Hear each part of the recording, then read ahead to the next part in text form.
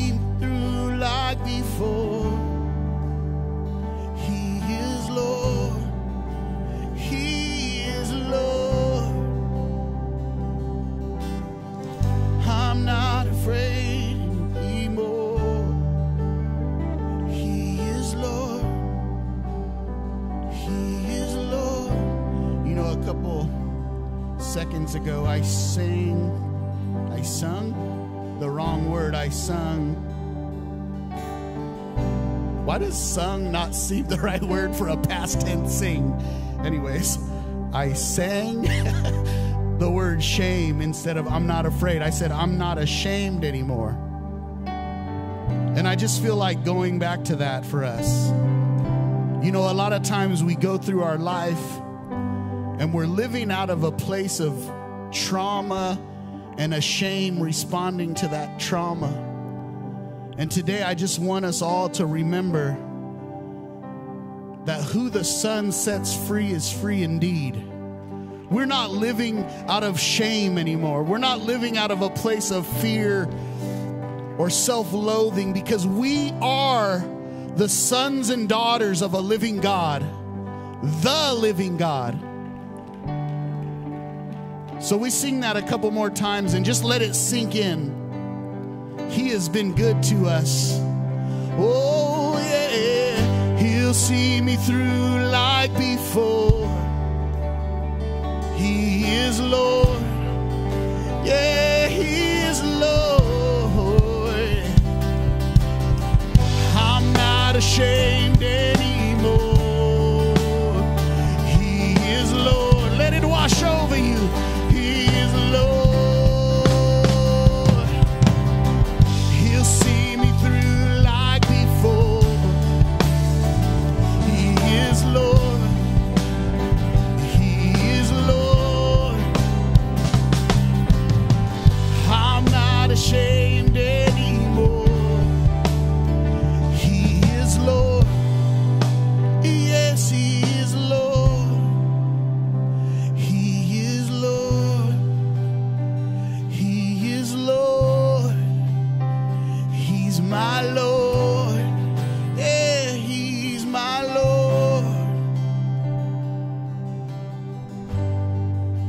just thank you today for your goodness and your grace and how it washes over us, God. How it cleanses us, God. How it frees us. And Lord, today as we as we continue in your presence, let us be reminded that we are your sons and your daughters. And there is no shame in this place. You love us exactly how we are.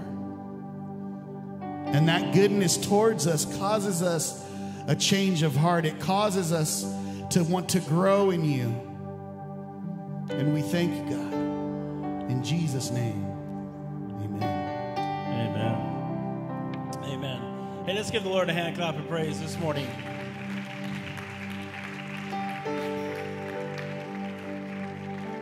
Hey, listen, I know that, you know, we're, we're dealing with COVID and all this stuff, but why don't you just turn to two or three people, give them an elbow or something, welcome them to City View Church, and we'll be back here in just a few minutes.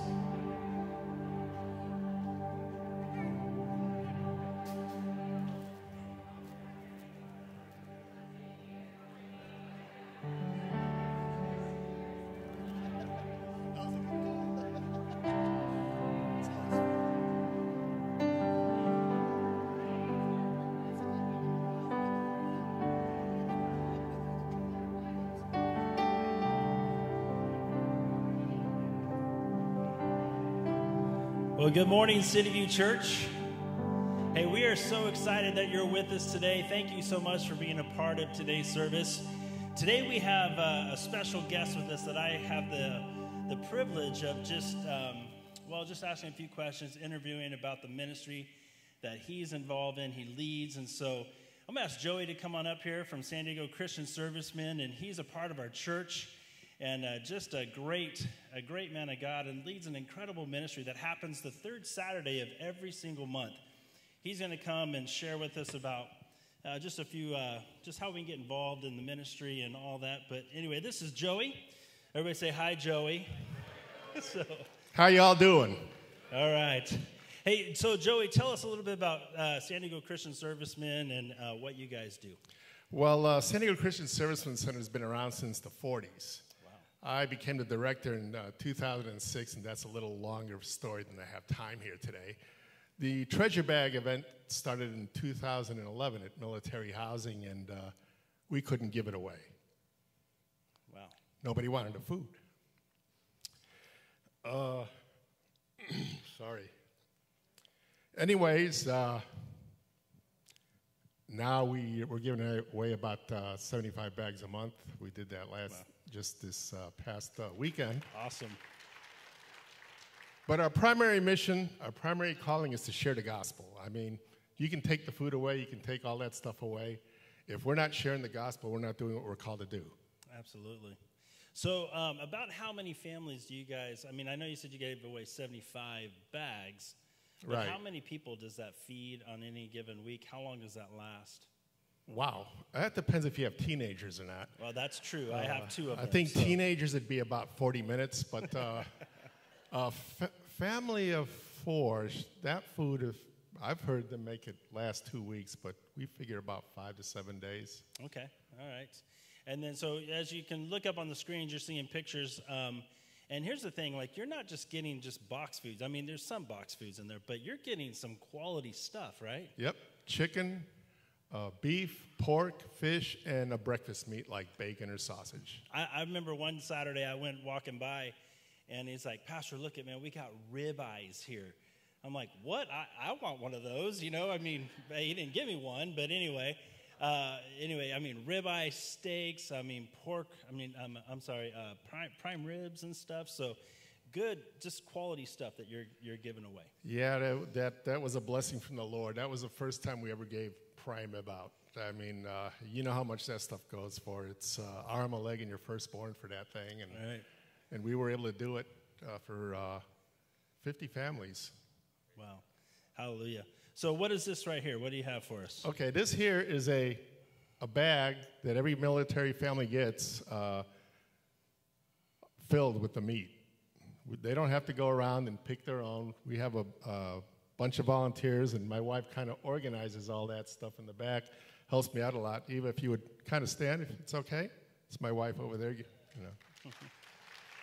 so uh, it's a big load that she takes off, and uh, we've got volunteers from the military community.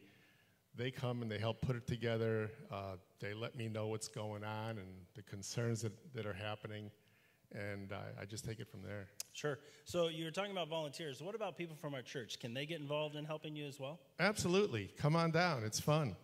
All right. Yeah. So uh, how would they get involved, and when would they come? I already said the third Saturday, but yeah, the third Saturday third Saturday month is an ideal time to come if you want to come and get to know these military families one on one. Get to talk to them. Maybe you want to set up a little table and pray with them. Uh, whatever you want to do, whatever God puts on your heart. I'm good.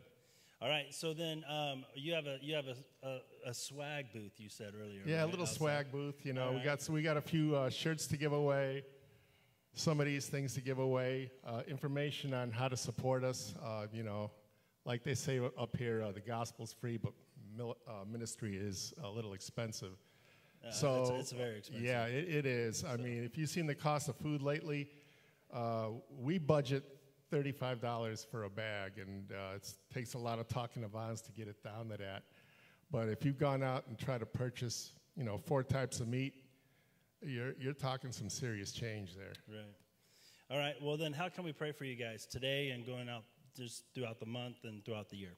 Well, first of all, let's pray for our military families. They, they struggle a lot. I want you to think about this. You know, if you guys would close your eyes just for a minute and imagine yourself being a, a service member deployed for seven months, and you get a, uh, well, I would say a letter back then, but now I guess it'd be a message from your spouse saying, you know, uh, hope everything's going well, thinking about you a lot. I didn't want to burden with you, but this has been going on for a couple of months now. Car's broken down. Kids need braces. We ain't got no money in the account. That's uh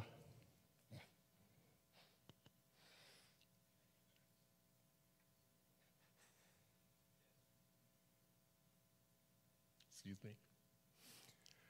That's more than a national security issue. That shouldn't be happening.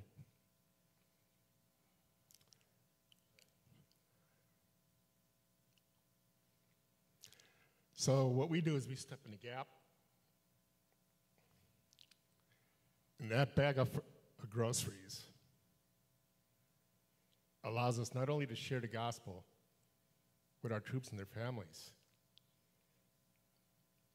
but it meets a need. That's it. All right. So, yeah. Yeah. So if you want to get involved uh, with Joey and Christian servicemen and just be here, it's the third Saturday of every of every month, right here at City View Church. It's outside, so it's it's totally safe and good. But man, you heard from this man's heart today about his love for this ministry and, and all that they do. And you might think, you know, it's just a bag of groceries, but as you heard him say, it meets a need. And not only that, it allows them to share the gospel of Jesus Christ. And that right there, folks, is worth it all. So uh, I tell you, we're going to pray for you, bro. But here's the thing if you would like to support this ministry, here's what you can do. You can go online to cityviewsd.com. You can uh, follow the giving tabs there. Christian servicemen, if it's not up, it'll be up a little bit later today. And then also, if you want to give today, you can also just uh, put in uh, just put in an envelope. Just mark Christian servicemen, the amount you want to give. We'll make sure it goes directly to the ministry. We don't take anything out for ourselves. We make sure it all goes to the ministry that we designate, and, and we are supporting this ministry. I'm telling you this right here. And I say this about a lot of missionaries is because I know them, and I know that this is good, good soil or, uh, to, for us to, to plant in. And so we're planting in this ministry. We're believing it. Not only that, we're backing it. And uh, we're going to we're going to pray for you, and we're not only that, we're going to support you, brother. So let me pray. Father, we thank you so much for Joey, his team. Lord, I pray for our, our church congregants, Lord, that Lord, that we would just surround this, this man, this ministry in prayer. Lord, not only that, we would support him in finances, God. But Lord, we pray uh, every third Saturday, Lord, and even more than that, this, this, this man's involved. I know he is. And so, Father, I pray, God, that you would, Lord, just your Holy Spirit would just give him wisdom. Lord, uh, I pray that you continue to anoint him as he shares your word, God. I pray, Father, that, Lord, more families, more and more families would come, and Lord, that the finances would open up so he could buy more, Lord, and, and negotiate better. Lord, I pray, Lord, for for uh, just warehouses to say, you know, we have this free food, come and get it. Lord, whatever it is, whatever it takes, Father, we pray, Lord, that you would open the door. And Lord, we pray that many servicemen, Lord, and their families would come to know you through this ministry. Father, we thank you. We give you praise, and we're honored, Lord, to serve you in your name. Amen. Amen. Amen. Thank you, Joey. Amen. Amen. Thank you, guys. Thank you so much. I want to encourage you, church, if you haven't had a chance to even check it out on the third Thursday of every month. I think it starts at 12. Third Saturday. It starts at what time? 12. 12 o'clock. Um, there are lines of people um, from the military that, that are so thankful for this opportunity. And it's a huge opportunity of evangelism to just be Jesus with skin onto these families, to get to know them, to get to know their kids. Uh, they come from all different backgrounds and all different lifestyles. And some of them, you know, have attended this church and they, eh, they come to this church, and some of them have never been to this church. They've never been to the programs of this church. And we're talking about standards and behaviors this uh, day. And I want to encourage you, whether you give or whether you pray or whether you participate, there's something for all of us to be a part. How many of you know that we have the greatest military in the universe, in the world? Amen? And we're thankful for them. And of course, we're in a military town. And of course, um, I want to encourage you that today, of course, there's several things that are going on besides playoffs and wild cards and all that stuff, and Lions and Tigers and Bears on my. But I want to encourage you that today is the Sanctity of Life Sunday. And this is a day where we pray for life. We pray for life. Uh, you know, I'm an example of that. I mean, I, my parents could have had an abortion on me, but they, my mom said no. She felt God say, no, don't destroy this child because I'm going to use it for my glory. And she was on the table getting ready to do the whole nine yards. But God protected me by His grace. And so I want to encourage you to pray for life. Pray for the Supreme Court. Pray for the decisions that are being made. God have mercy on our nation. And today, of course, as we're continuing our day, 21 days of prayer, today we are praying for our, our nation. Would you join me right now in prayer as we pray for the United States of America? Father, we thank you for today. Lord, your word says that if we humble ourselves and that if we ask for forgiveness, that you will not only hear us, but you will cleanse us and you will heal our land, Lord. And there is so much areas of our land that needs healing, Lord God. And as we think about life, we know that there's circumstances and there's situations that, that, where people have, have, have maybe even had an abortion or have gone through that thing or, or helped someone get one or whatever it may be, Lord Jesus. And so we know that in through Christ Jesus there is therefore now no condemnation for those that are in Christ Jesus. But God, we're living in a day and age where we need to stand for life. We need to stand for the unborn, Lord God. And so today, Lord Jesus, we pray for mothers that are making decisions, Lord God, today, and couples that are making decisions, Lord, that maybe they would give it up for adoption or they would do something else, Lord God. But Lord, we pray for life. There's so many children that, Lord God, you want to use for your glory and your honor. And we know that the enemy comes to steal, to kill, and to destroy. And so, Father, we pray for our, our president, our vice president, the cabinet, Lord, our Senate, our Congress, Lord God. We pray that they would come to know you and make you known, Lord Jesus. We pray that the, that the fear of the Lord would be the beginning of wisdom in our, in our nation, Lord God, in our hearts. Lord, stir us up as your people, Lord God. We thank you, Lord Jesus, that we know the way, the truth, and life, and that is you, Lord God. So help us to share that good news, Lord God. I thank you that your church is alive, it's vibrant, it is not dead, Lord God, and that the gates of hell will not prevail against it. So, Lord Jesus, use us for your glory and your honor, Lord God. Help us to be salt and light, Lord God, like never before. And Lord, we thank you that we are one nation under God. Forgive us for the times that we've tried to be over you and over your will and over your ways, Lord God. But Lord, as we lead a life of repentance, of changing our ways, Lord God, and our customs and our behaviors, Lord God. We know that the best is yet to come for the United States of America, and we believe that in Jesus' name. Amen. Can we give the Lord praise for that, church? God is good. I want to encourage you that if you have not gotten one of these 21 days of prayer uh, pamphlets, please pick one up or you can go to our website and get one. And then also, uh, again, if you want to read through the Bible in 365 days, there's this out there in the lobby that you can take as well. And we want to encourage you to do that. Well, today we continue in our series on part three of talking about not only um, our values, our vision, but our mission as a church. And today I want to talk to you about standards and behaviors. I want to talk to you about standards and behaviors, not just for us as a church or as leaders, but what some of these standards and these principles, I believe that, uh, and behaviors, God wants you to instill in your life, in your home, where you work, um, and, and, or where you go to school, or wherever it may be this morning. So I don't want you to just think in terms of what I'm talking about for us as leaders of the church, what our standards are, or what your behavior should be, or what our behavior should be for the church. And those things are important. But I think there's some tools and there's some principles here that you can learn for your own personal life today as we go through this journey together. Now, last week, if you were with us, or if you're just joining us today, or or if you're online with us today, we learned that values are a guiding principle. We learned about values last week, and, and, and val- guiding, they're guiding principles by which we should live by. And we learned that values communicate what's important to us. We learned that values uh, show how they influence our behavior. They, uh, values assist us in what we say yes to and what we say no to in life. And, and then, of course, values enhance our credibility.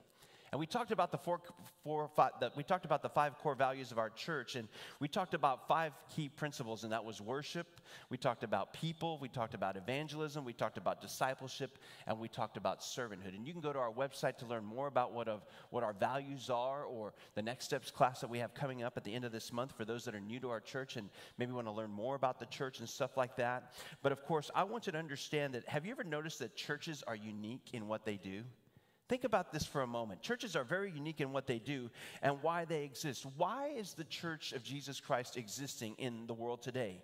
I believe it's to assist, I believe it's to help people to grow in their faith by bringing the truth of God's word into their hearts and into their lives in the context of his love. Because if you think about it, his love never fails. His love casts away all fears and doubts. His love covers a multitude of sins. And the church of Jesus Christ is here to help those that are hurting. The church of Jesus Christ is here to help those that are down and out. The church is here to help people who have their act together or don't have their act together. And the church provides ministry programs that facilitate community and develop spiritual growth in the hearts and the minds of his people and people that are searching for truth. Now, how do we accomplish those? Those things. How does the Church of Jesus Christ accomplish those things? Well, I believe it's through their standards. It's through their standards. And, and for example, how many of you in this room have ever gone to Disneyland or Disney World? All right. Most people that live in Southern California have been to Disneyland, and those of you that maybe lived in the Midwest or on the East Coast, maybe you've been to Disney World. And let me ask, let me tell you something. I always thought, what does MM stand for? And, and a lot of times we think it stands for Mickey Mouse. I think it stands for making money, amen? You know, because, I mean, no wonder that that mouse is always smiling because he's got money coming out of his ears. And if you think about it, if you've been to Disneyland or you've been to Disney World, they have standards.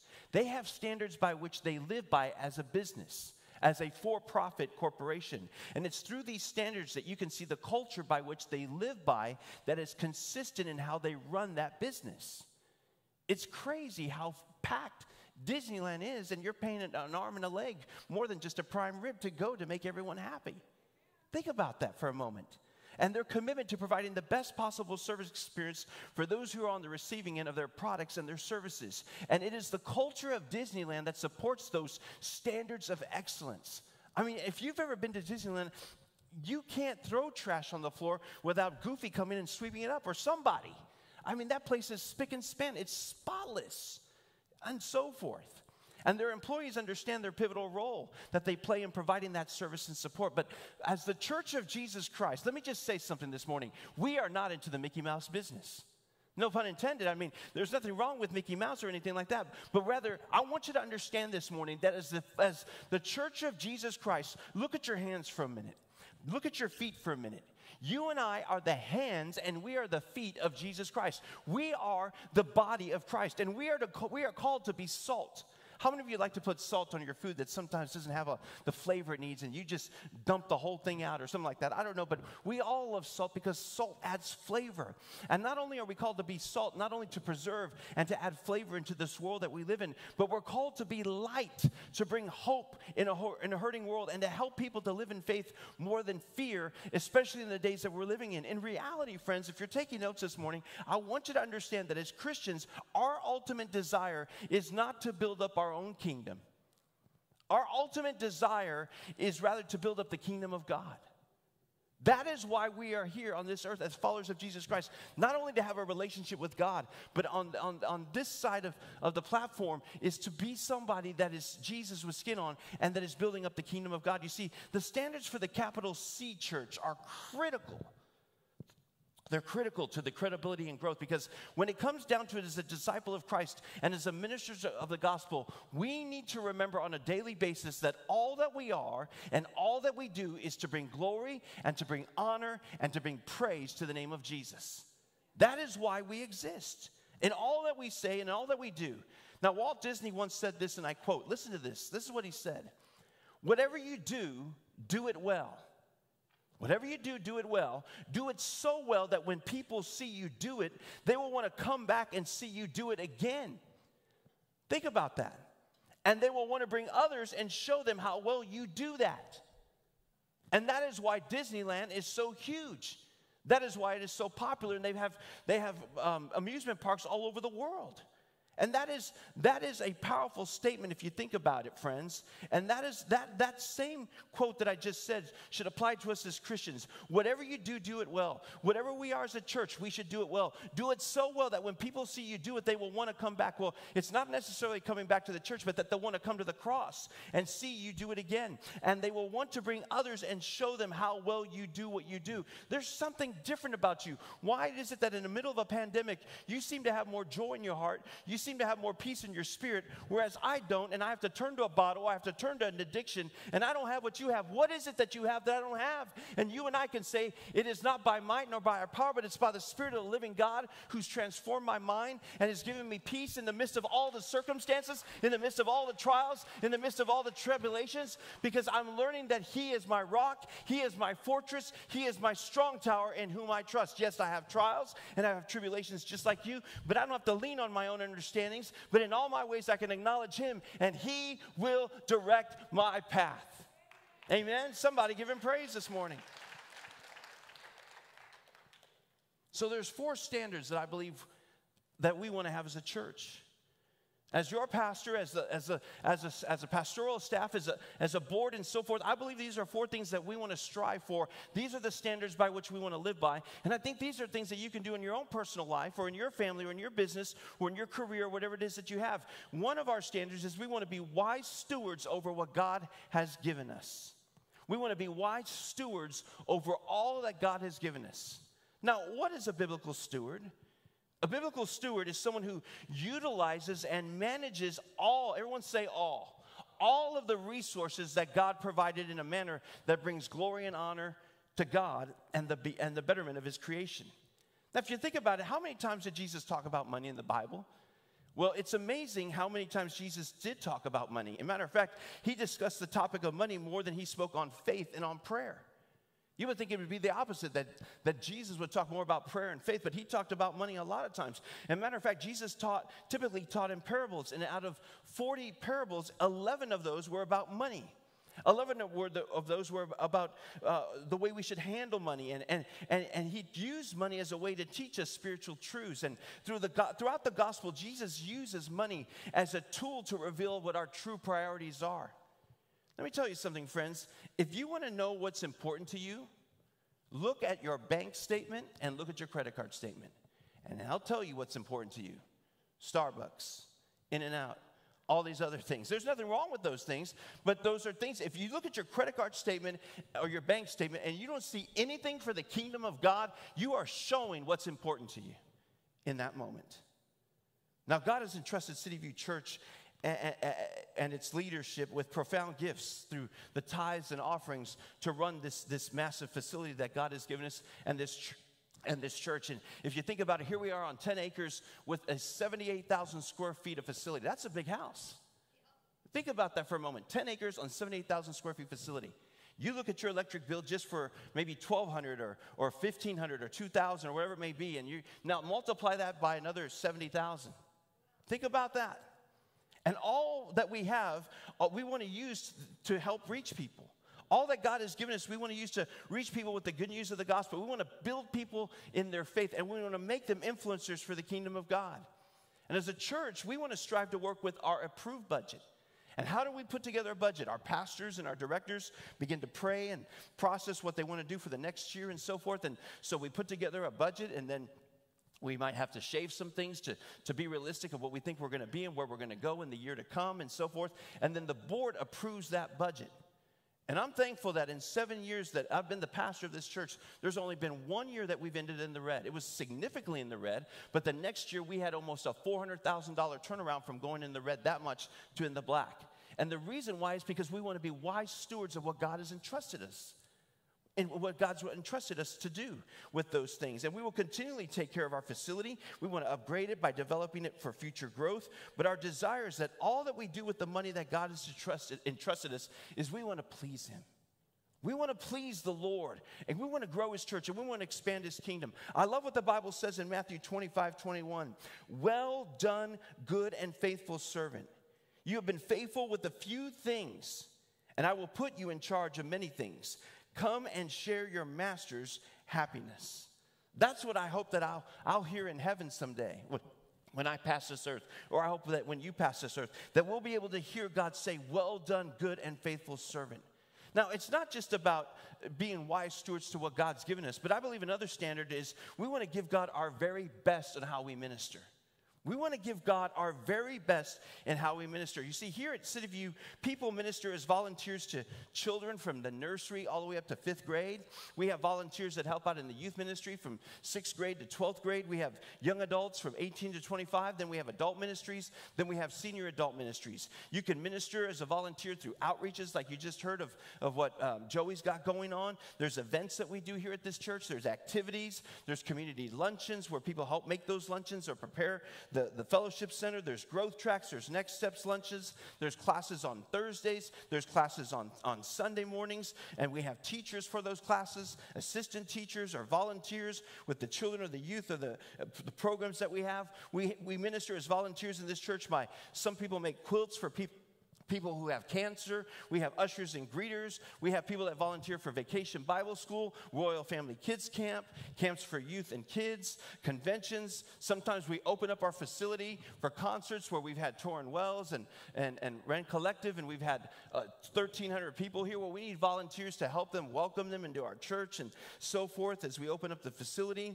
Of course, there's assistants and volunteers in the worship area by people singing and playing an instrument, serving in the tech area by doing sound sound, lighting, and PowerPoint, running video cameras, taking pictures with, with regular cameras. And, and we minister by serving at the check in station for the kids when they come in, setting up or tearing down for Christmas decorations or events or outreaches or, or classes. We have props that we make for certain times of the year where people can take pictures with for Easter or for Father's Day or Mother's Day. We serve in area, areas like we did the, the food boxes to our community during the pandemic or the treasure bags on the third Saturday of the month with Joey and the list goes on and on and on what this church offers you, this city, and this community in English, in Spanish, in Amharic, and in Oromo.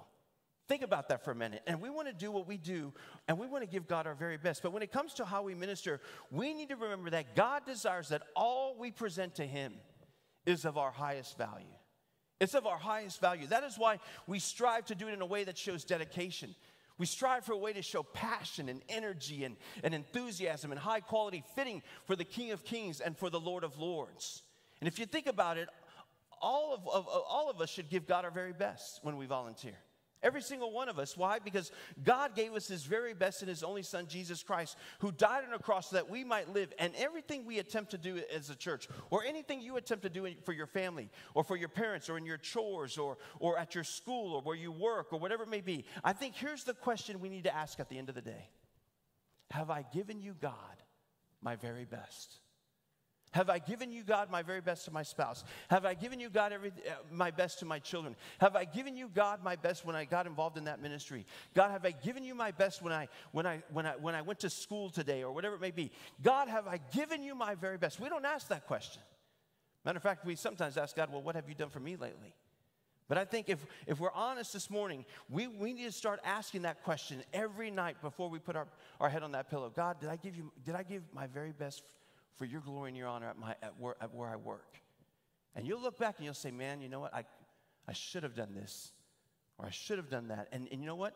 Do it the next day. Here's some questions you could ask yourself Did I come prepared? Did I arrive early or was I the last one to leave? Did I, did I leave the place better than I found it? Did I make the people who came feel like they were the most important person in the world? Maybe that's questions you ask yourself if you're an usher greeter or whatever it may be. But did I touch someone with the love of God? Did I make someone feel welcomed? In all that we do, we want to give God our very best. How many of you in this room have ever used a paper plate to eat? Why is it that we love paper plates? Because they're disposable. We don't have to wash dishes. It's an easy come, easy go thing. But I believe that sometimes in the church, we have a paper plate mentality when what we need to do is we need to have a fine china mentality. And think about it when, when, when you get your fine china out, you don't just walk around with it like a paper plate, you, you hold it like it's a precious possession. And I think every single one of us in this room need to think Lord, when it comes to serving, when it comes to giving you my very best, is my mentality paper plate or is it fine china? Because we want to give God our very best as a church. I love what it says in Colossians 17 23 through 24. It says, Whatever you do, whatever you do, Work at it with all your heart as working for the Lord, not for people, since you know that you will receive an inheritance from the Lord as a reward. It is the Lord Christ you are serving. So let me ask you this If you're serving in this church and there's someone overseeing you as your supervisor, your superior, or whatever it may be, I want you to understand that yes, there's differences of opinion and all that, but the bottom line is this you're serving the Lord. You're serving the Lord wherever you, God has called you to. Another standard by which we want to strive for as a church is to be effective in what we do. We want to be effective in what we do. Now, I'm going to give you three names this morning, and some of you will know those names, and some of you won't know those names from Adam. How many of you in this room have ever heard of Baron Wiley? Not a hand has been raised. How many of you in this room have ever heard of Walter Labato? Not a hand has been raised. How many of you ever heard of a name of a guy named Bill Zonas? Some of you, your hands are raised. Let me tell you something about Baron Wiley, Walter Labato, and Bill Zonas. Baron Wiley was a youth leader at Trinity Church. And I met him for the first time at a camp. He was my youth counselor. And I remember meeting for the first time, and I thought, you know, I had such a cold heart towards God. I hated going to church. I didn't want nothing to do with the youth ministry. I didn't even want to go to that camp. But this guy had such a joy in his heart. And he was the funniest guy that I had ever met in my life. But he loved Jesus. He loved Jesus and he was my counselor. And God used Baron Wiley to, traject, to literally transform me in the way that I looked at Christianity. And from that point on, I decided to get involved in the youth ministry of the church that I was in. Eventually, I felt God calling me not to be a lawyer, but to be involved in ministry and so forth. Could you imagine if Baron Wiley would have said to himself, you know what, I, I just don't feel like I want to be a youth leader anymore? Then I don't even know if I'd be here. Some of you don't even know who Walter Labato is, but he was an elder man in Fremont First Assembly, and, and I was an intern at the church. And I remember one time he said, I want to take you out to lunch. And I went to lunch with him, and, and he began to share about the history of being at this wonderful church and so forth. And, and, and, and he began to say some encouraging things to me, but he said, I, I, I got one thing I want to talk to you about. And I said, What is it, Walter? He says, The way you dress. And I thought, Oh man, here he goes, older man, he's going to beat this young boy up and all this other stuff. But he didn't do that. He said this to me He said, Troy, I see potential in you. I see that God's going to use you for his glory and his honor, just as an intern and still going to Bible college. And he gave me an envelope. And I opened up that envelope, and you know what it was? It was a check. It was, it was a gift certificate. They, don't, they didn't have gift cards back then or, or credit plastic cards, but it was, a, it was an envelope to Men's Wearhouse for $300. And he said, I want to invest in your life. I want you to buy a suit. Walter Labato is no longer on this earth. The same thing with Bill Zonas. First time I met Bill, it was after the, the um, the town hall meeting when I was a candidate for this church. He was the first person to meet me. And if you know Bill, he's, he's the first person that I always meet you. I know people that have come to this church because of Bill Zonas. And Bill was the type of guy that he always had a, a, coupon in his, in his pocket to invite you to men's breakfast, or he would pat you on the back and it'd make you go 15 feet in the air, or whatever it may have been. He just was a loving guy, but he was effective in what he did. He was effective in what he did for me as a spiritual father and so forth. And you see, friends, all those names that I mentioned, they had one thing in common. You know what the one thing in common they had? They were effective. They were effective at who they were. They weren't trying to be someone else. They just were being who God called them to be in the gifts that He had given them, in the abilities that He had given them, and so forth. And God designed the church to fulfill His purpose on this earth. God designed this, the church of Jesus Christ to achieve victory for His kingdom. And we will value effort. We'll never be satisfied with being ineffective. And we will be faithful, but we'll strive for faith. We'll, we'll be faithful, but we want to strive for fruitfulness. That is why we will make sure to align our efforts to carry out our values successfully for the glory and the honor of our Lord Jesus Christ. I love what it says in 1 Corinthians 9:24. Do you know that in a race all runners run, but no one gets the prize? Run in such a way as to get the prize. Baron Riley, Walter Labato, and Bill Zonas were the type of men that ran to get the prize, and the prize was people. And that's what we're called to do. We want to be effective in making disciples for Christ as, as we embrace biblical relevance in what we teach and preach as a church. We want to challenge people to be effective ambassadors who promote faith around the world by praying and supporting our missionaries. And, and, and, and yes, you can change your world where He has placed you. So let's run the race with effectiveness. Let's run the race with confidence. Let's run the race with perseverance, with enthusiasm, but most importantly, His anointing. Because when we have those things, one of the things we need to remember is that the the Lord our God is with us in that process. Amen. And finally, the fourth standard we strive for as a church is to be authentic in who we are. transparent. We, we may not have it all together at times. Let me tell you why. We're imperfect people. We don't have it all together, but by, its, by His grace that we continually move forward at the speed of purpose to the things that God has called us to for such a time as this. And as God's people, He's called us to be different from this world. He's called us to be different from this world, but in the process of being unique, we want to be transparent in who we are.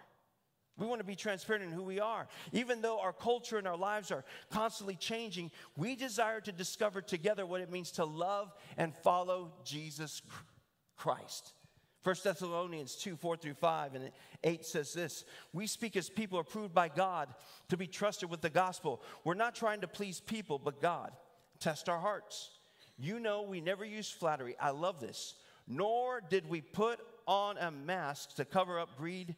God is our witness.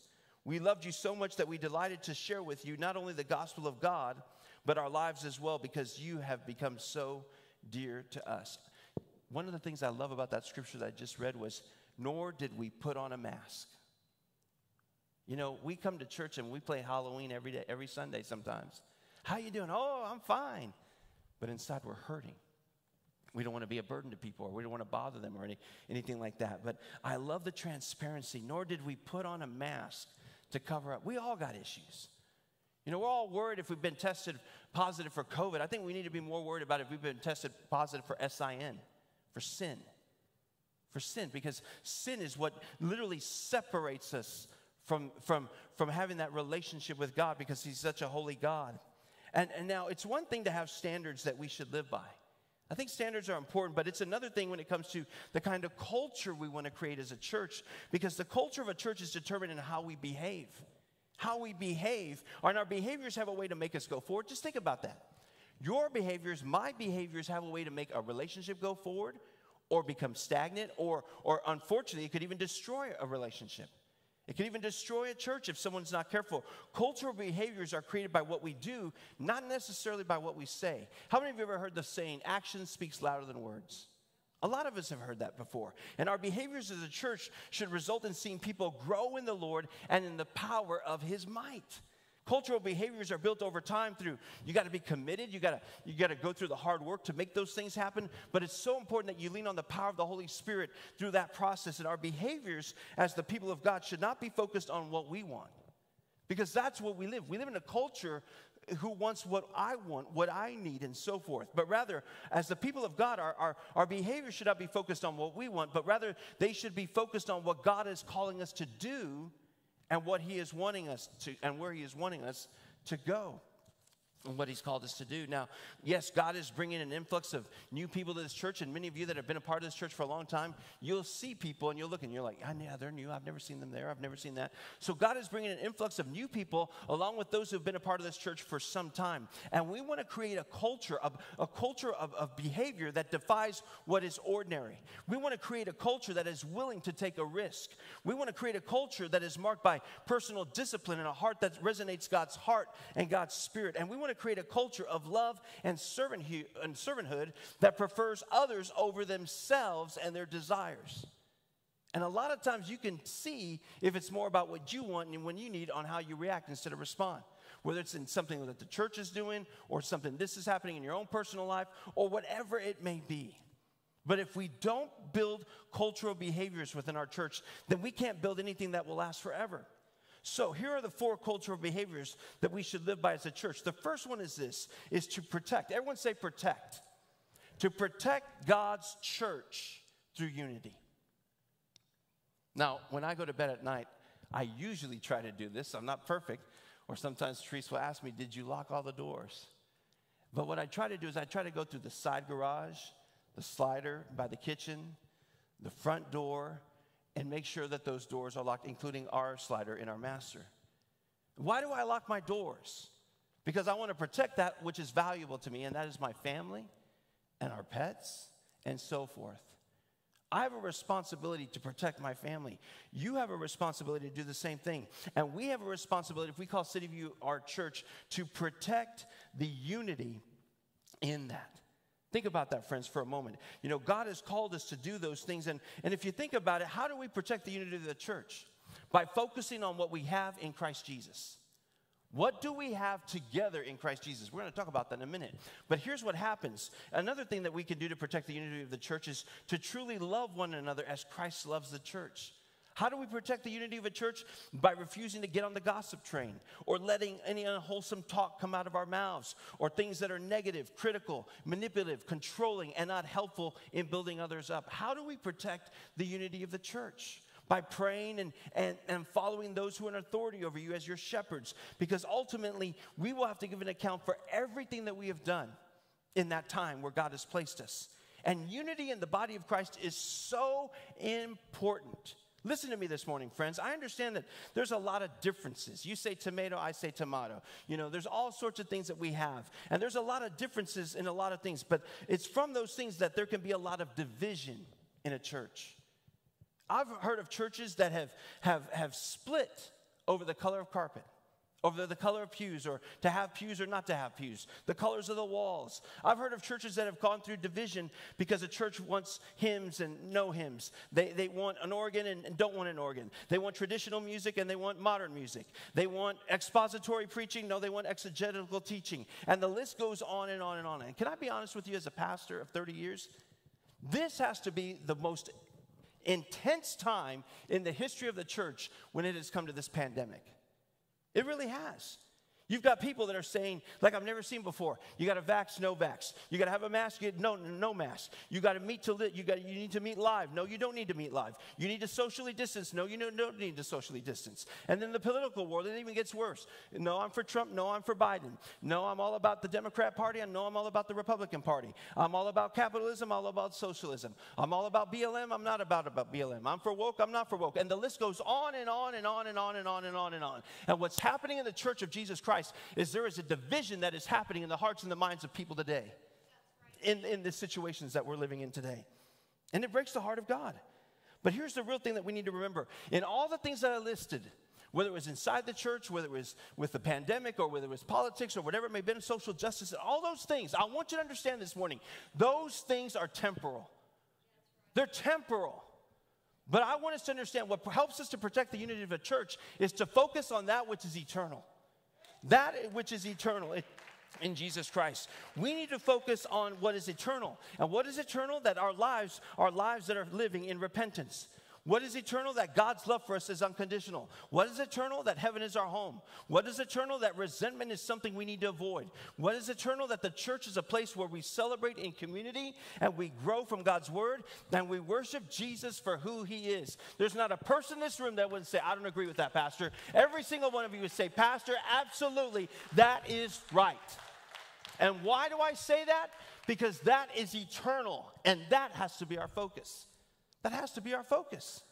More than all the things that are surrounding us, may they become shadows in the likes of His presence. We need to love those who are lost. I think there's not a person in this room that wouldn't disagree with that. I think we need to love those that don't have a relationship with Jesus. I don't think there's a person in this room that wouldn't agree with that. We need to make sure that, our, that the people in our city hear more about the love of God in our hearts than the hate we have for other people.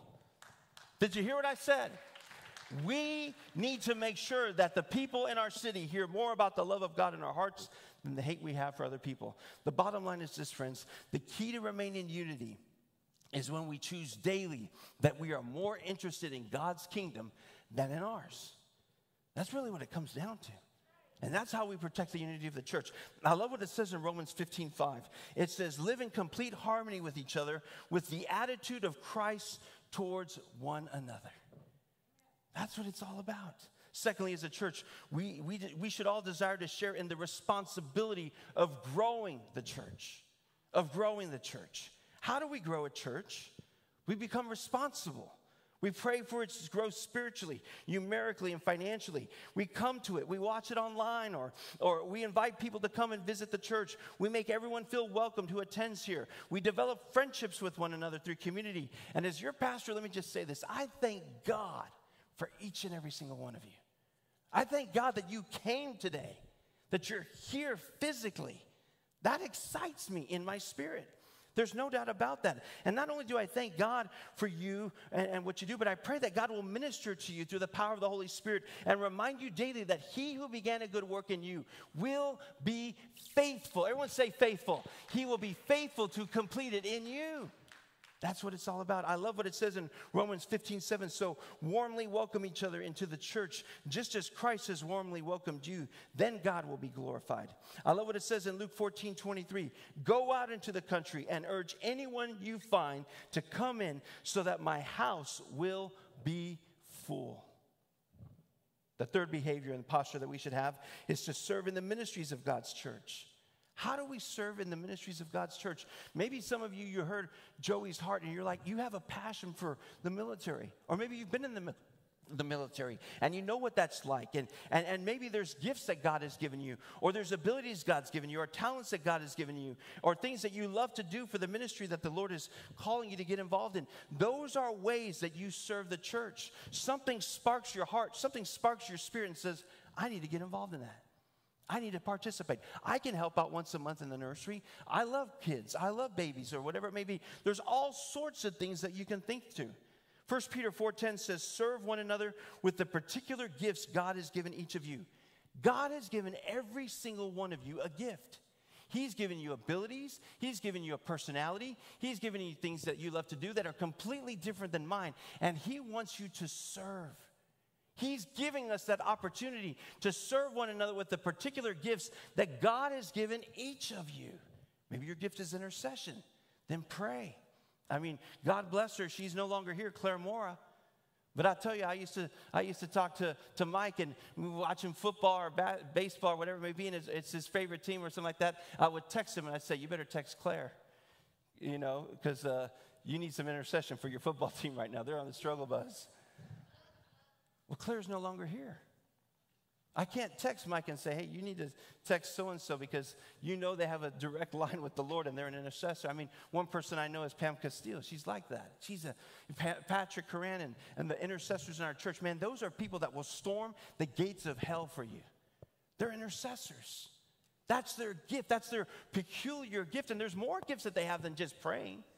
And we all have something. And then finally, our behavior should be to support the testimony of God's church. And this testimony has been going on for a hundred years as of this year. And how do we support the testimony of this church? By attending faithfully. Yes, there's a lot to do in San Diego, and I don't expect you to be here 52 Sundays a year. You've got vacations, you get ill, all those, but, but be faithful. Choose to live a godly life by conducting ourselves in a manner worthy of the gospel and develop and maintain a habit of giving faithfully and regularly. Faithfully and regularly. Hebrews 10 25 says this Let us not give up meeting together unless there's a pandemic. It doesn't say that. It says, Let us not give up meeting together as some are in the habit of doing but let us encourage one another. Now, I understand some people can't physically make it. I get that. And there's, there's nothing wrong with that because they're a part of this church through online. They're the digital church. That's okay. That's, that's fine. But there's something about being together, Eva. There's something about an embrace. There's something about being able to look at you face to face. And I can't do that through a TV screen. I can only do it now in this place. And I want to encourage you, church, to support the testimony of God's church. Whether this is your church or not, or you're just visiting, or whatever it may be, I think there's application to those four behaviors that all of us should have. We should all be protecting, we should all be responsible, we should all be serving, and we should all be supporting the local mission of God's church for such a time as this. Every head is bowed and eyes are closed. What is the Lord calling you to do more for Him this year? Just think about that. Maybe it's to protect the unity of the church and what you say and do. Maybe it's to share in the responsibility of the church to help it grow, to invite people, to make people feel loved and welcomed and get to know them. Maybe it's in serving in some form or fashion the ministries or outreaches or participate in a connect class that the church offers on a Thursday night or a Sunday morning. Or maybe it's to support the testimony of the church by, by choosing that you want to live a godly life and you want to attend as faithfully as you can and you want to give regularly as you can because of the blessings the Lord has given you. Maybe it's one of those areas that the Lord is challenging you. Maybe it's two of those areas. Maybe it's three of those areas. Maybe it's four of those areas. I don't know. But whatever it is, it takes time to, to develop a habit, good or bad takes about two to three weeks to form a, a behavior. And I want to encourage you that whatever it is that the Lord is challenging you to do, do it as unto the Lord and not as unto man. Maybe you need to ask someone for forgiveness. Maybe you need to humble yourself. Maybe, I don't know what it is, but I believe that the Holy Spirit right now is talking to you, not to hurt you, but to help you. Because healed people will help people, but hurt people will always hurt people. And maybe what the Holy Spirit wants to do right now is just begin to let that, that healing balm of Gilead just touch your, your heart, touch your mind. Maybe you've been hurt by leaders. Maybe you've been hurt by a church who took advantage of the finances. I don't know what it may be, but there's hurt. But I believe that God can make all things new. I believe that God can make crooked ways straight. I believe that God can take barren places and make them fruitful. I believe that God can take places that are dry and make them swell, swell like a living river, like live with, with living waters. Because we serve a God of the impossible. Maybe you want to give your life to Christ for the first time, or, or maybe you want to rededicate your life to Christ because your standards of your, or, or your behaviors, as you've realized this morning, they don't even line up with the Word of God. And maybe today is the day of salvation. Maybe today is the day of, of rededication. But there's a four letter word that I believe God wants to instill in every heart more than the four letter word that's been wrapped around our culture today. And it's the word hope. H O P E. I believe God wants to replace your fear with hope. Because God has not given you a spirit of fear, but of power and of love and of a sound mind. And what, the, what our world needs more than ever before today is, is, is hope. And so today, Father, instill in your hearts and your lives of your people. If you're able to, would you stand with me this moment as we re- respond to God in worship and we reflect on the message this morning? And maybe there's something that the Lord is tugging at your heart to do. Whatever it is, I want to encourage you to, to take it to another level this year. So, Father, I pray for my friends this morning. Whatever decisions they're making will affect the destiny that you have for their tomorrows. And so, Father, today, do what only you can do. For the individuals who say, Lord, I, I want my behavior to be one of protection that brings unity. I want my behavior to be one of responsibility that helps things grow. I want my behavior to be one that is serving and, and, and serving God's interests in the lives of others.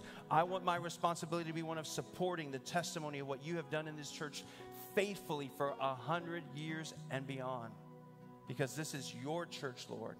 It's not mine, it's yours. It's not ours, it's yours. And so, Father, we want to be faithful in what you've called us to do. And so, Lord, after this day is over, let our actions speak louder than our words. And for those in this room, if you want to rededicate your life to the Lord or give your life to the Lord for the first time, just where you're at, just say, Jesus, forgive me of my sins. Jesus, I believe you died on that cross. You rose from the grave, and I confess you as my Lord and Savior. In the name of Jesus.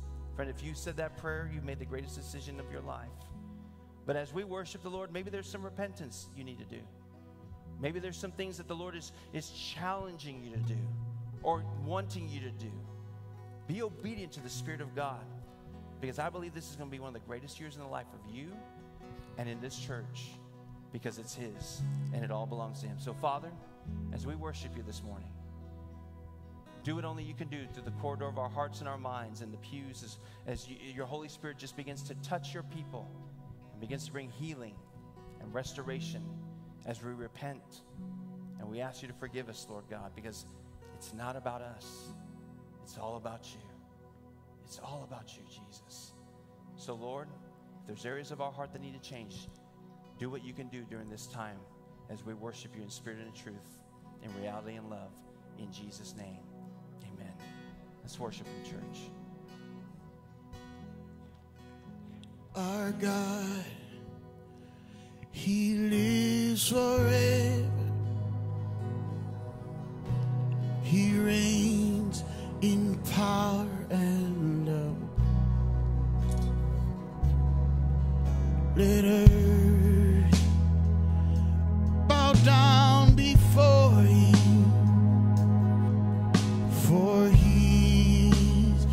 exalted.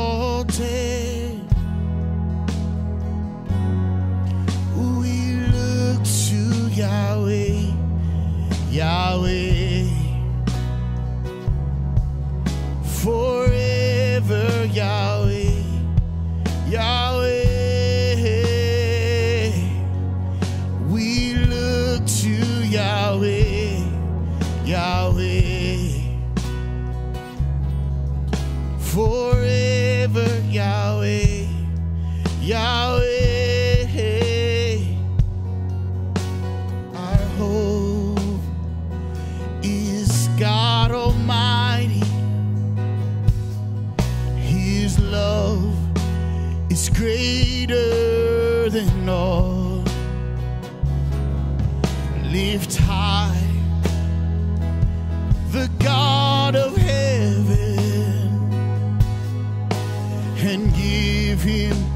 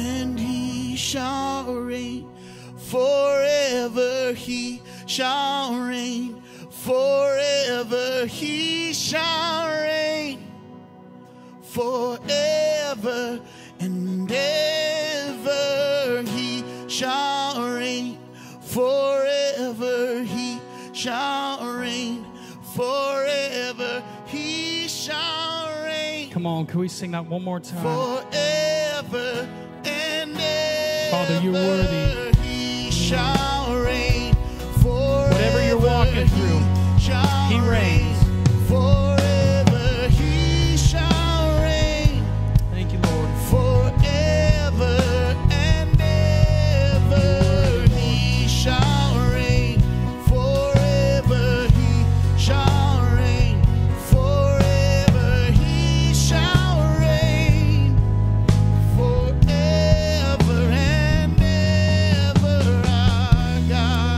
You're thankful for Jesus, could you give him a shout?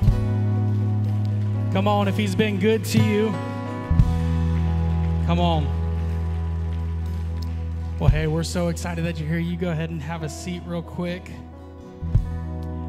My name is Tim, and I get to be the privileged honor of being the next gen pastor here. And man, we're so excited that you have joined us today. Um, if you are new, we'd love to connect with you. We'd love to hang out with you. So on the screen is a number, and just text that number, and we will get that out to you. There's also a connect card on the seat back in front of you. Uh, to where you can just fill that out and then you can place it in our offering boxes on your way out. Connect with us. Do life with us. Don't do life alone. Okay, this is why we're here. We get to have the honor of serving you and doing life with you guys. So connect there. If you uh, came prepared to give today, there's also in the seat back the offering envelopes that you can place in the box in the back as well. You can also text, you can mail in, all the different stuff that ways you can give. You can go online to our website as well and we'd love to be able to help partner with you and you can partner with us in making a difference so more people can hear the gospel i don't know about you but today's message was so encouraging about what our vision is for this church and what this house is going to be doing for our community and it only happens if you do it with us because with our staff as great as our staff is we can't do it all that's why we need you that's why we need your help to serve in different areas. And if you want to serve, again, you can text that number too, or you can find us, or we'll find you. We'll just tap and be like, hey, you want to do this? And then you say yes or no and serve with us. But it's a lot of fun. Hey, we want to let you know a few things. We are in the middle of our 21 days of prayer and fasting. Some of y'all are feeling really good. Some of you are like, Jesus, help me. But it's cool because that's what he does. And so we're continuing on that. You have plenty of time to jump in and start with us go to our website at cityviewsd.com slash events. You can find out all the PDFs as far as what to read in our year of the Bible reading, as well as what we're praying for each and every day on our social media. And you can follow along with that. Uh, next Sunday, January 23rd, we have our Next Steps lunch. So if you've been here for a while, or if you're new and you're like, you know what, I haven't met the entire team, I don't really know fully a whole bunch of stuff about this church, perfect. Come join us. You'll get to meet the team, you'll hear the heart behind the church and behind Pastor and what all of that looks like. And that gives us plenty of time to just sit with you, learn about you, you learn about us, because that's what the body of Christ does, right? So join us. It's absolutely free. We got lunch coming your way. It'll be a blast. As, as well as Sunday classes are back. So we had our first kickoff of the year today. At 8:45 we have our classes for kids, adults and youth. And let me tell you something. There's a class in particular, not mine, but they're going in the book of Colossians. And man, it is going to be a great class. So 845 Sunday mornings, you get to be a part of growing your faith deeper and deeper before even coming into the service. That's what's awesome. And we want you guys to be a part of that. So let me pray over you, and you guys will be officially dismissed. Father, we thank you for this church. God, we thank you for your people. Father, I pray that you go before them this week. Whatever they're facing, whatever they're going through, Father, I pray that your Holy Spirit guides them and brings peace that surpasses all understanding. We love you, Lord. We thank you. In Jesus' name, amen. Hey, we love you, church. You are officially dismissed. Thank you.